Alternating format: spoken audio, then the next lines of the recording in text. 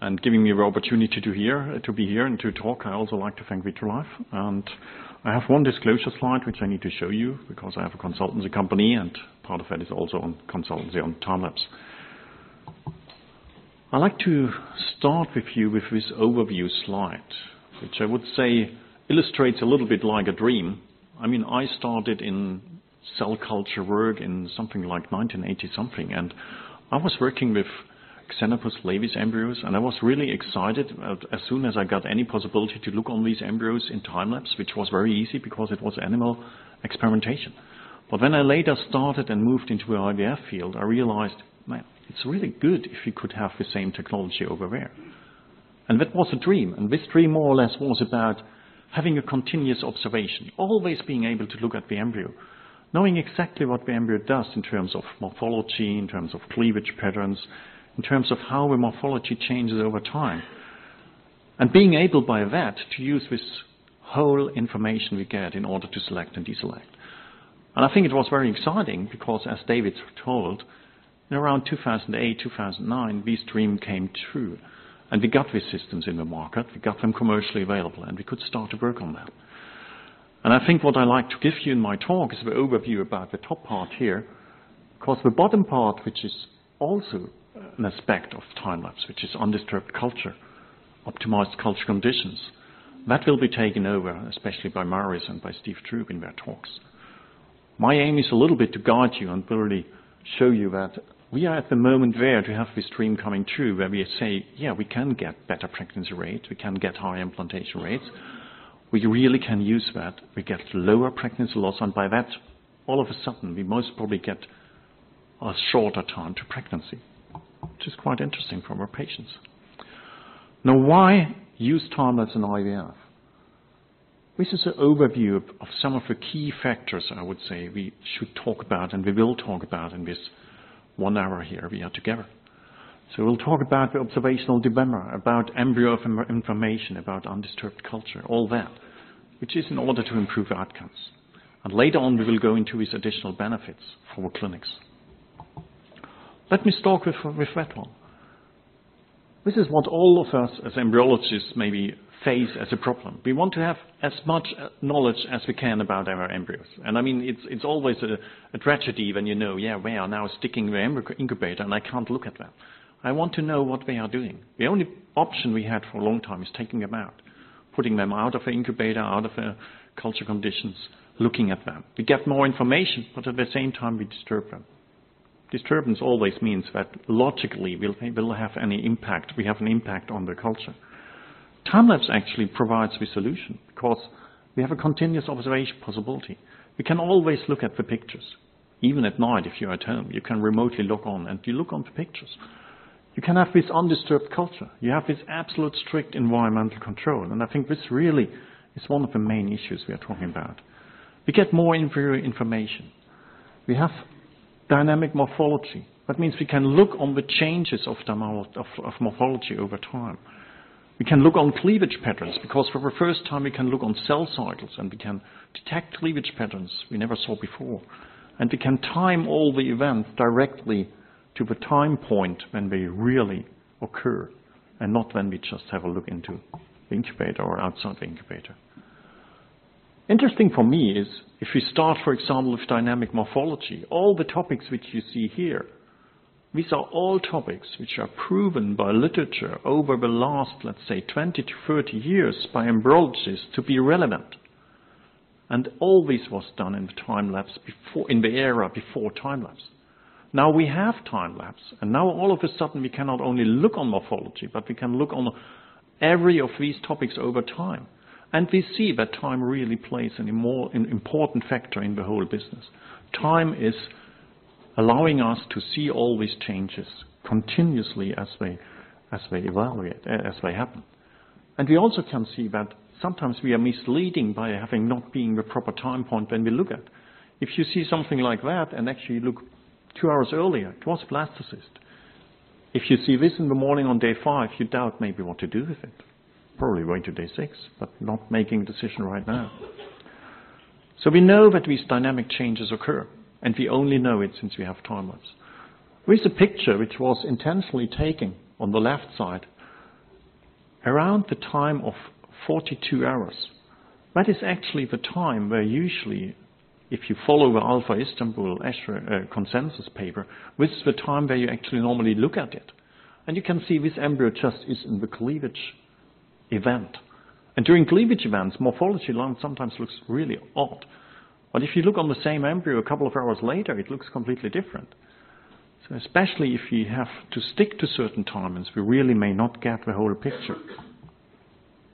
Multinucleation. I was in the morning in a session where actually half of the talks were about multinucleation. It's fascinating. And all of these talks were using time-lapse in order to discuss this issue of multinucleation. And everybody, I think, acknowledged that without having time-lapse, we are not able at all to talk any ways about how multinucleation is performing, how the embryos develop, and so on. So we need this tool. Why do we need it? We know from a basic embryology that multinucleation is not a good thing. We know that already. But now we can study it. And it's amazing that if you only use standard observation, you can overlook, depending on the literature used, between 23 to 73% of the incidence. That's amazing. If you accept that there is a clinical impact of that, this is really a dramatic figure, I would say. Looking at this paper here, which was published from a Turkish group, where they actually looked on multinucleation on the two-cell stage. By avoiding multinucleated embryos, they got a very clear benefit in terms of implantation rate and in terms of clinical pregnancy rate. And in their paper, they clearly show that if they would have not have had time lapse, they would have overlooked actually quite a large proportion of that. This is on the four cell stage. This is the evaluation of a huge database where every embryo is known what happens to the embryo. And what you can see from this huge database is that if you have multinucleation at the four cell stage, no matter in how many blastomeres, one is already enough you get a 25% lower implantation rate. And in 23% of the times, you would miss it if you would stick to those published timings which we have. Cleavage patterns, extremely interesting, because abnormal cleavage patterns is what we defined first time with time-lapse. Now we have these wordings, we have direct cleavage. We never talked about that before because we never saw it, that embryos can cleave directly. And it could occur at different stages of development. And by that, you can get completely different patterns at the end. So you can end up with a blastocyst where maybe some of the cells are really derived from an abnormal cleavage event, or here only part of them are derived from an abnormal cleavage event. What does that tell us? What does it have to do with the embryo and the potential? We can now study it and we can look on it. This is just an example for this direct cleavage 1 to 3 which seems to have a pretty high incidence. And you will not see it if you don't have your time-lapse machine. You will overlook it. And you will miss it very often. And the other thing here on the left side you just saw it was a 2 to 5. From 2 cells directly to 5 cells. If you come in the morning and day 2 maybe you see a 5 cell, maybe you're happy. Oh, it's a fast one. And this really shows that this fast embryo probably is not a good choice if you would choose it later on. We know from data that these embryos have a high aneuploidy rate and that they have either a low implantation rate, especially the 1 to 3, or if they implant the 2 to 5, they seem to have a higher miscarriage rate. And I guess data are coming there. There's another part of the kind of abnormal cleavage event, so so-called reverse cleavage. And there was just a publication beginning of this year clearly showing that embryos showing that have close to zero implantation rate and it can be quite frequent occurring. And what happens simply is that one of the blastomeres tries to divide and then it divides and snaps back. And by that you double the chromosome content of that one blastomere. And you will not be even able to see it by array CGH because it's the whole chromosome content which is duplicated and you cannot pick it up. Definitely not. So we can correlate all these timings with time with with um, with the event. We can correlate it with uh, development. And then, of course, we can start to use it and to see where we can use this information to improve our way how we perform embryology. That has been done. There's a lot of publications now out. Different studies, retrospective studies, prospective studies, randomized control trials, and they all go more or less very often the same direction. We have an improved implantation rate, We have a reduced pregnancy loss rate, which is really now something coming up in several papers.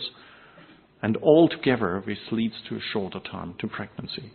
And Steve will give you later on a very nice example how you can actually translate that into a financial calculation, which is very interesting, I would say, in our nowadays move of finance and medicine.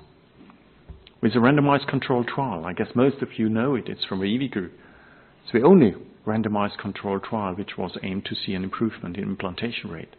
And they see a higher ongoing pregnancy rate, they see a higher implantation rate, and they see a reduced early pregnancy loss.